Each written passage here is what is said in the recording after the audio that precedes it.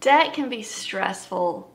It makes you feel guilty when you shop. You may be constantly worried about how you're ever gonna pay it down. You might feel anxious every time you even check your bank account statement. And I recommend leaving that kind of energy in 2022. Hey, I'm Lorien. I'm co-founder of Dow Janes and a money coach, and I know what it's like to be in debt. And today I'm gonna give you five steps to make progress towards creating a debt-free life this year. These are five steps to pay off debt this year. Step number one, upgrade your debt identity to a wealth identity. I often find that people who have been in debt for a while start to truly identify with it. They are not just experiencing debt temporarily, they start to believe that they are the kind of person who has debt. And this belief structure makes it really hard to ever get out of debt because as humans, we naturally just won't do things that do not fit with our view of ourselves. Or if we do, then they don't last very long unless we update how we see ourselves. So, do you have a debt identity? When you imagine yourself in the future, just close your eyes for a second, imagine yourself in five years. Do you imagine your debt still being there? If so, it's time to update your identity, and the way to do that is through the repetition of new thoughts, new actions, and new emotions. I want you to take a minute and close your eyes, and now imagine how it will feel to be free of your debt. See yourself again in the future, but this time without the debt. What happens to your energy level? How do you feel about yourself? What do you feel capable of? I want you to jot down a few notes and then start practicing feeling these ways every day, right now. You don't have to wait. Now, let's get into some of the more tactical steps to clearing your debt. Step number two, assess your spending and your saving habits. Now, first, you need to know what is happening with your money each month. At the end of the month, do you have money left over in your bank account? Or are you breaking even on the month? You're not getting ahead, but you're not going further into debt. Or do you not quite have enough money to cover your month? And at the end of the month, you've actually gone further into debt. If you don't know, then it's time to start writing down every dollar that comes into your life and every dollar that you spend. This will give you the clarity that you need in order to take the next step, step three, which is to reduce your existing expenses. If in the previous step you found that you are spending more money than you make, then it's time to really think about where you can start to save costs. And the first step to doing this is to get creative. This is a creative exercise. This is not a chore. This is an opportunity to think outside of the box. And the best way to do that is to put everything on the table. Remove the boundaries. Even things that you don't think you can do are allowed in the brainstorming phase. In the brainstorming phase, there's no such thing as a bad idea. So I want you to go through and list each of your expenses and then brainstorm ways that you could reduce that expense. And this includes expenses that you think are fixed, like your rent or your mortgage, because maybe moving to a cheaper place is gonna be a really powerful way to help you get out of debt faster.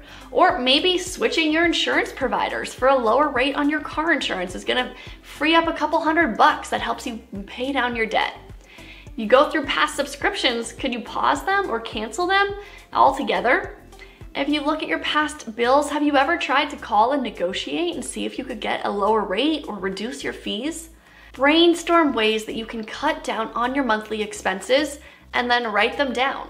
Then create some deadlines for actually taking action and trying each of those strategies out. For some of the stuff, you'll be able to do it right away. Like you can cancel your Netflix subscription today, or you could cancel your Amazon Prime membership today. But maybe you are gonna do a bigger thing as well, like research if you really can move to a cheaper place and you're gonna give yourself until the end of the month to do that research project. But make a real plan here. Your expenses are not all fixed. They are variable and you can change them. And doing so is gonna free up money to help you get out of debt even faster. Step number four is to work on the other side of the equation and increase your income by $1,000 a month. To really accelerate your timeline to being debt free, you need to work with both sides of the cash flow equation. We want to increase money coming in and decrease money going out so that you have as much money as possible left over to put towards your debt. Now, in the previous step, you identified ways that you can reduce your existing expenses. Now it's time to see if there are ways that you can increase the amount of money that's coming into your life. I want you to do a similar brainstorm exercise and list all of the things that you can think of that you could do to increase your income. Make sure to include things like asking for a raise, switching jobs, starting a side hustle, and getting a part time job. Flesh those out and see what new ideas come to you.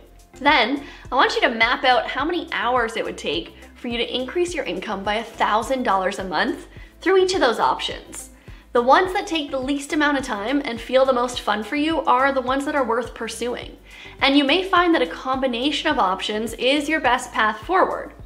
Maybe you are going to both ask for a raise and start walking dogs on Rover for 10 hours a week.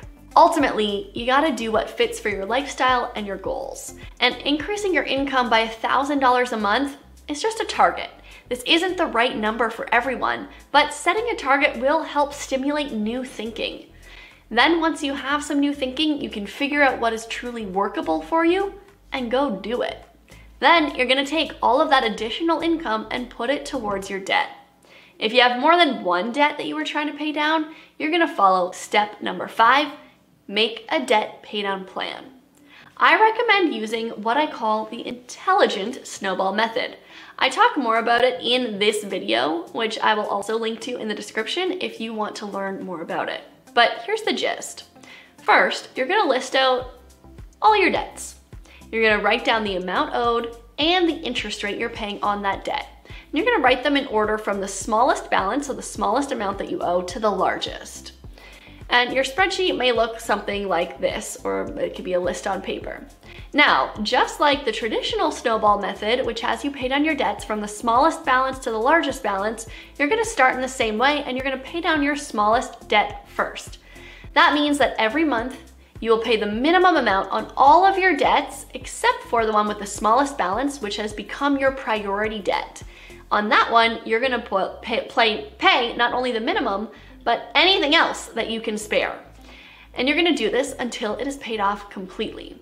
Once you've paid it off, first of all, celebrate. Yes, that's awesome. You are building wealth and knocking out your debt identity for good. And now you're gonna move on to the next debt. With the traditional snowball method, you would pay the next debt down based on the size of its balance. But with the intelligent snowball method, you are now gonna pay down your next debt based on its interest rate. So if you have a debt that has a much higher interest rate, you're gonna focus on that debt next. This way, you're both building your confidence in your ability to pay down debt by knocking out a debt with a small balance first, but you're also reducing the amount that you'll have to pay in interest and effectively lowering the amount of money you'll pay towards your debt overall, which gets you out of debt and into wealth building mode faster. After you've paid off those first two debts, you just keep paying down debt in order of the highest interest rate to the lowest until it's all gone.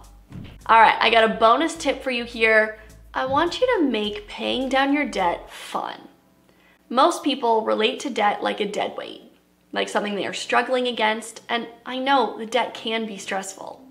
I know it can feel brutal, but we really do want to leave those feelings behind. Debt might suck, but paying down your debt, that's awesome. And you need to let yourself feel awesome every single time you put an extra penny towards that debt because those pennies are progress. You are winning every time you chip away at it, and you deserve to feel like a winner all along the way, not just at the end. A way that I loved making paying down debt more fun was to create a visual tracker. You can Google an image or find some on Pinterest, you can draw it yourself or find a free template online and start coloring it in every time you make a payment on your priority debt. It is fun, it is motivating, and it's rewarding to be able to visually see your progress.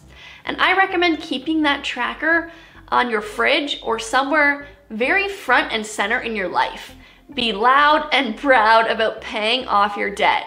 This is not a shameful thing. This is a brave, ambitious, and awesome thing that you are doing. So display it proudly. Now, if you want more help paying down debt, I recommend you sign up for our free mini course, Five Days to Debt Free. In it, we give you a ton of useful resources for getting out of debt quickly and forever. I will leave a link down below. And if you want more support on your financial journey, be sure to subscribe and hit the bell. We publish free content every week to help you achieve your biggest money goals. All right, thanks for watching.